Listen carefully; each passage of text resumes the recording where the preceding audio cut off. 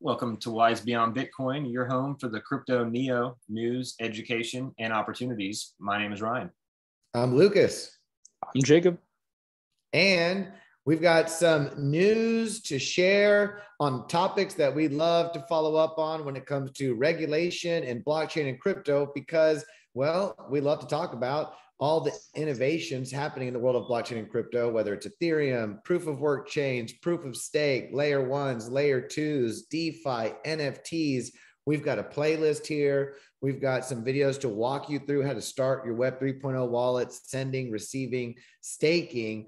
But blockchain and crypto, when you're learning this new technology, that's all it is, is a new technology it's emerging in the market at large, in the world stage, in the world economy. And as it grows, the growing pains, there will be some disruptive features. There will be some creative destruction. There will be some people that maybe they don't like the way it's interacting and in, in, in, infringing upon their market share or affecting their profit margins. So it's good to understand uh, where people are coming from when they're complaining about certain projects. So let's talk about Bitcoin. Let's talk about regulation. Let's talk about one of the more pop culture popular mouthpieces for Bitcoin in mainstream media, Michael Saylor.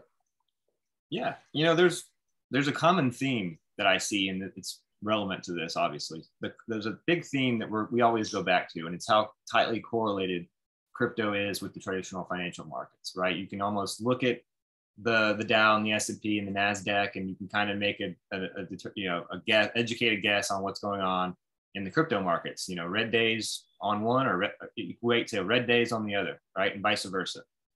And it's not just uh, the correlation that we see. There's also similar problems that you see in crypto that are that are that are reflected in the traditional markets, right? There's issues with liquidity and hot money flows coming in and then flowing out and what happens when liquidity dries up, right? With liquidity pools, for example. Leverage. There's also leverage. There's issues with leverage that, that we talk about. You know, what's happening when you loop oh, positions. Yeah. Uh, looping and leverage and how that is uh, has similar vulnerabilities and risks that you see in traditional finance.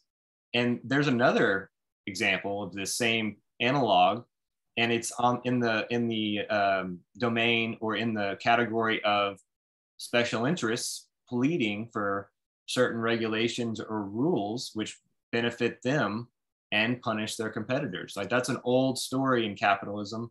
Uh, if you even go back to like the robber baron days and the days of trust busting and and the um, and the and the Teddy Roosevelt administration, there was a lot of uh, regulations that were put on capitalists that turns out the capitalists themselves were championing and lobbying for and the idea was is that the higher these burden this this the higher the entry the burden to enter that market is the easier it is for the established and entrenched firms to make a larger margin market share and raise prices and have less competition. So it's, so it's sometimes in what you're saying is that if they charge uh, thousands of dollars to register your new alternate coin on the blockchain then the days of people freely being able to create uh, will no longer. And then you'll have to be a big conglomerate or a large Bitcoiner to be able to afford that.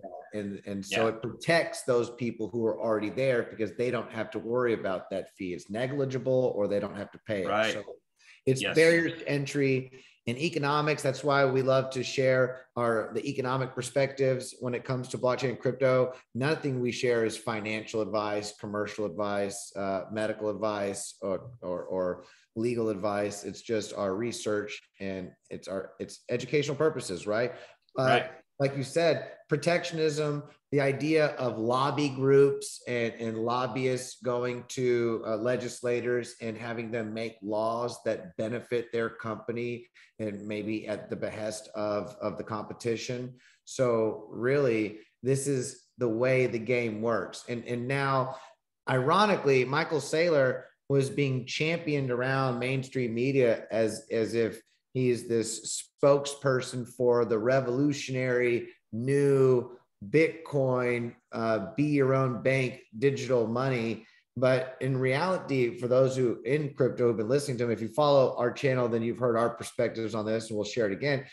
But Michael Saylor is is really uh he's a businessman who runs an investment uh, company and he's he's got a bottom line. He's not for banking the unbanked or seeing bitcoin do its own thing opposed to traditional financial markets. He would like to see bitcoin be regulated. He would like to see bitcoin be registered and protected. He would like to see his company be one of the companies that that hodl this uh, protected and chosen asset. And he would love to see the government be used to protect Bitcoin and as you were mentioning at the beginning of this video to to shoo away the competition really yeah that's right so let's get into the article a little bit because that's a good kind of entry but if, if he were to on. say if, if michael saylor were to say i don't like what's happening to my profits i want the government to help me it would sound like he's whining and when you listen yeah. to him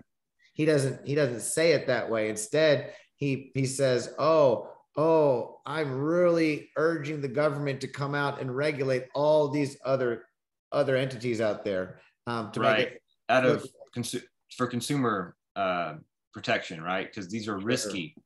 risky uh, investments, and it's all about you know basically being paternalism. It's a little bit of paternalism. It's like I know that you you don't know what's good for you, but I assure you that these other people do, right? And, so, and, yeah, and, the reality is, the Michael idea. Saylor can't possibly know what's good for people when it comes to investment. I mean, there's a limit. There's we are all limited in how much can be known. That's why there's there's different elements of risks, and there's things called black swans.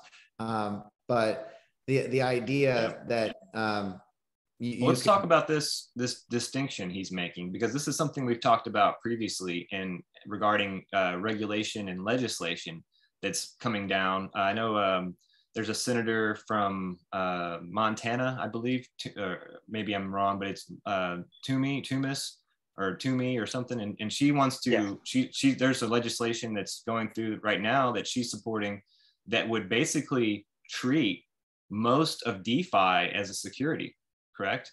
And anything with like a development team or a roadmap or management or some kind of guaranteed revenue uh, sharing. This is all basically being used to say, well, you're a security, and those things will become registered. But what does that leave out? Well, it leaves out tokens like Bitcoin, which have no issuer, issuer or management team or employees or product cycle. And so they that the idea here is that this is this is a there's a concerted effort to draw a line between the projects that will be considered to be securities from those which are which are not. And it seems to be that Bitcoin consistently is falling on the side that's not going to be a security. So with that as the background, that that coming transition, Michael Saylor is definitely a player in that. He's you know he's it's within it's in his interest for for these other tokens to be considered securities, right? Because clearly that would basically kill those projects. And I would even say, like, if you look at some of the projects that would be considered as a security, it's kind of ridiculous because the way those projects, Helium being a great example, me as an investor in Helium, I end up making profit off of the mining of the token because I'm setting up the infrastructure of the network. That would completely flip that profit model to be something where all of a sudden now I can't do that, even though it's decentralized. It would be something where all of a sudden these particular protocols are heavily regulated and not able to operate in a way where I can just casually mine crypto passively. And now all of a sudden it's something where the they're being registered as securities, where it's kind of more so a flip on the profit model where I'm the one who's building the infrastructure out and getting paid out in cryptocurrency. And it would be much easier to just tax people continuously, how we have been with crypto miners, as income tax. Yeah, that's for sure. No, uh, yeah, um, I mean, you there, there, was there was you went a few different places there, income tax and and other things. I, I would say that I agree, especially when it comes to defining the actions of what people do. We're, we're in a very gray uh, early immature time where people in positions of authority are coming up with rules and laws to explain something that is little understood and comparing many of these blockchain uh, processes to a traditional security where you're investing in a company and they're supposed to return a profit is completely different than people um, who aren't even investing dollars or pounds. They're looking at some blockchain unit of account, some made up token, whether it's Bitcoin or Ethereum or, or Hex or right. whatever. But but these tokens or these coins have a utility or a feature, whether they're used to um, to provide to, to provide security for the chain for staking and and like a proof of stake network. So or, or Helium, when you're when you're stake when your mining is used to provide infrastructure for the road that everyone's driving on or infrastructure for the highway that people are sending their emails the, the internet if you're creating infrastructure it's a different relationship than a security so i think yes. that a lot of time in the world of blockchain and crypto needs to be spent really not to rush in and figure out how we can force uh, this new technology into an old paradigm so that some people can make a quick buck and then we'll figure it out later. I think it's better to take a slow, methodical approach and, and people first understanding what it even is that we are working with. What's the difference between a smart contract and a layer one um, smart contract platform? You know, and there's a difference between proof of stake yeah. on a proof of stake network and staking a token. And these are nuances that aren't talked about when it comes to blanket, quick, you know, authoritarian regulation on on how to make money. Um, it's, it's like a cash grab. It really just seems like a political cash grab.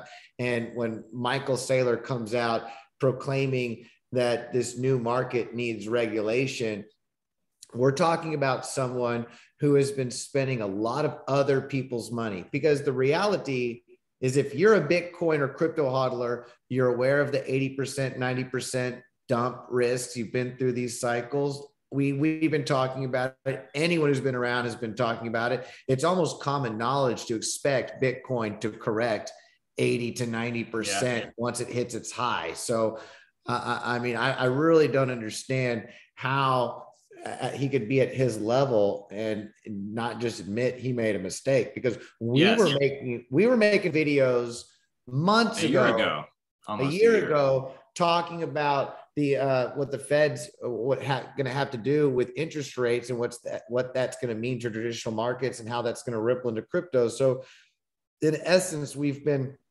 warning or talking of a of a top and a correction and entering into the crypto winter for for a long time, which we're obviously in, and whether it's the first yeah, month, and we're not. And let me elaborate. We're not, you know, geniuses that we we we just paid attention to the press releases coming from the central bank. Right. You know, it's uh, they were they've been saying for a long time that they're going to hike rates, but way before they actually started doing it.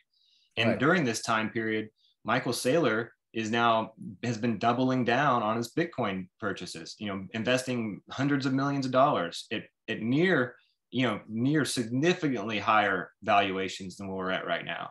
Not maybe at the top, but not far from, right? And so I feel like when he he wants to focus on how Bitcoin's cross cross collateralized with a lot of under, unregistered securities or DeFi tokens, and that when those blow up, that collateral gets put under pressure and then that puts Bitcoin under pressure. And, and we're talking about obviously Luna Terra is an example of that. And uh, you could even look at Three Arrows Capital and Celsius as well as examples. And, and he's basically pointing to these, these projects as the reason why his Bitcoin position is has been so hammered, right? And it's such been such a losing position. But to your point, it's it's like nah, even without Luna Terra and without Three Arrows, you know, Bitcoin had already was already coming down. And in right. fact, it was, and it's driven by fundamentals in the economy. And, and I'm talking about interest rates and monetary policy. These are fundamental determinants of prices. And if if you're going into a tightening regime of, of rate hikes and selling off the balance sheet, then the the that's not the time to make a position on like a tech stock or a, or a high risk you know Nasdaq stock you know which is what Bitcoin essentially is right it's a very high risk highly volatile tech play and it will go down in a rate hike environment along with a lot of other things right so I, I feel like this is an example of an investor kind of pointing the fingers to uh, at others for his own his own bad poor judgment, making. bad, decision, decision making. Yeah. Looking for he's looking for a bailout, and it's been um, he, he's you know it's been nice to be the Bitcoin godfather going around mainstream media to to talk about this um, impeccable digital. It's, it's you know it's the universal property or whatever um, he, he, calls it, which is it's great. Right people educating others on Bitcoin. Uh, but that being said, um, be prepared and be ready to hodl it because the reality is, is Bitcoin's pumped just as much on the allowance of these altcoins, these other crypto markets to exist. A, a, lot of the value that exists in Bitcoin is due to these other markets. And I would say this come on, Michael Saylor, come on, brother, come on, come on come on. I mean, you you do know how much risk and how much leverage and all the problems in the traditional markets. So to act like we need to come in and regulate crypto because of Three Arrows Capital or because of, I mean, we've got a lot of players in the traditional markets that if one goes down, they all go down, which is why we've got this thing called too big to fail, right? I mean, how many and the moral uh, hazard that comes with that Right. So to act like we need we need regulators to come and step in, how is that going to do anything? Regulators have been in charge of the traditional market system where this is part of how the whole game works. So it, yeah. it's uh, it comes across as a little disingenuous and and kind self-serving, of maybe very self-serving and yeah. nothing to do with the health of Bitcoin, blockchain, or the crypto communities at large. It really seems to be just to affect protecting his pocketbook and from being wiped out should should the value of bitcoin continue to go further down yeah i agree that's my my take on it as well but if you disagree uh, we're happy to discuss this with you michael saylor will do a, a, live stream and you can tell us more about your understanding of uh, bitcoin and crypto and why you think um, the world would benefit, the economy would benefit, uh, the financial system would benefit from regulators coming in and making decisions on Bitcoin and the altcoin market. I would love to hear um, your take on this. And indeed, and drop a comment if you're not Michael Saylor and you want to chat. We're, we're always, you know, we'll, we'll we'll participate in a little back and forth, and you know, see if we can both learn something and subscribe and hit the notification bell if you like to understand and learn a little bit about blockchain and crypto and its role in the economy at large. We do cover the macro outlook and we also get into the actual innovative blockchains and decentralized applications that are being built on a regular basis. So you know what to do. But until the next time, have a beautiful day and namaste, y'all.